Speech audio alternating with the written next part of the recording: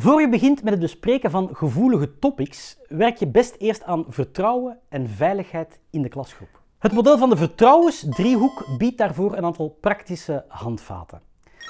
Dat model gaat ervan uit dat elke groep kan groeien in vertrouwen. Maar alleen met de hulp van vier veiligheidsvragen. Door er als begeleider mee aan de slag te gaan, nemen het vertrouwen en de veiligheid in de groep toe. De eerste vraag die ook de leerlingen in jouw klasgroep zich stellen is: Is het hier veilig? Duidelijkheid, routines, voorspelbaarheid, begrip, al die dingen maken dat een omgeving veilig aanvoelt. En als groepsbegeleider kan je daarop inzetten. Bijvoorbeeld door samen afspraken te maken, door samen gespreksregels op te stellen, samen na te denken over hoe wederzijds respect er kan uitzien. Dus door samen van de klas een veilige ruimte te maken. Als leerlingen het gevoel krijgen dat het veilig is in de klasgroep, zullen ze zich een tweede vraag stellen. Heb ik medestanders? Hoor ik erbij? Niemand wil alleen staan in een groep. En als groepsbegeleider kan je daarom bijvoorbeeld eerst werken rond dingen die leerlingen gemeenschappelijk hebben. Zijn er gedeelde interesses? Hebben ze dezelfde hobby's of dezelfde struikelblokken? Identificeren ze zich met dezelfde dingen of dezelfde personen? Door te werken rond wat leerlingen bindt, bouw je veiligheid en verbondenheid op. Als leerlingen het gevoel hebben medestanders te hebben, gaan ze zich ook een derde vraag stellen. Ben ik waardevol? Hier is het jouw taak om de eigenheid van je leerlingen te gaan bevestigen en erkennen. Werk als groepsbegeleider bijvoorbeeld rond unieke talenten van leerlingen. Geef ze de mogelijkheid ook te beginnen uitwisselen rond eigen kwetsbaarheden. Leer hun de dingen ook eens door de bril van medeleerlingen te bekijken. Werk rond perspectiefwissels en wederzijds begrip.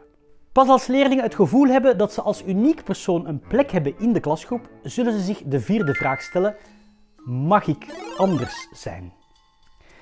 Is het bijvoorbeeld voldoende veilig om ook een afwijkende mening te hebben over een onderwerp en die met de klas te delen?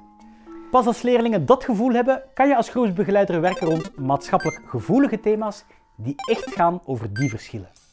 Zoals bijvoorbeeld die les over gender. De vertrouwensdriehoek is zo eigenlijk een piramide die stapsgewijs opbouwt, waar die vier opeenvolgende vragen steeds meer veiligheid en vertrouwen in de groep brengen. Maar dat maakt ook veel duidelijk. Het model kan bijvoorbeeld verklaren waarom een discussie over het Holibi-thema verkeerd afloopt. Misschien ligt het aan de methode, discussie. Daarbij ligt de nadruk vooral op een mening verdedigen met argumenten, maar komen kampen soms ook snel tegenover elkaar te staan. Het is een methode uit de vierde laag van de driehoek en veronderstelt dus ook dat je eerst aan de vorige drie lagen van vertrouwen hebt gewerkt.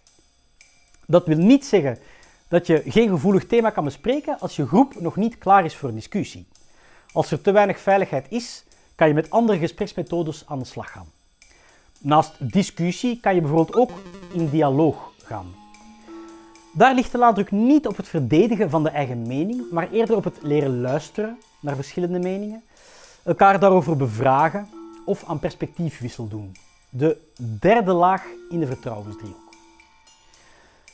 En als ook daar het vertrouwen of de vaardigheden voor ontbreken, kan je inzetten op vertrouwensspelletjes of gespreksmethoden om elkaar al gewoon wat beter te leren kennen. De onderste lagen van de vertrouwensdriehoek dus. Stel je bij elk gevoelig thema dat je in de klas wil bespreken, dus steeds de vraag: is mijn klasgroep hier klaar voor? Moet ik misschien eerst inzetten op bepaalde basisvaardigheden, basiskennis of vertrouwen?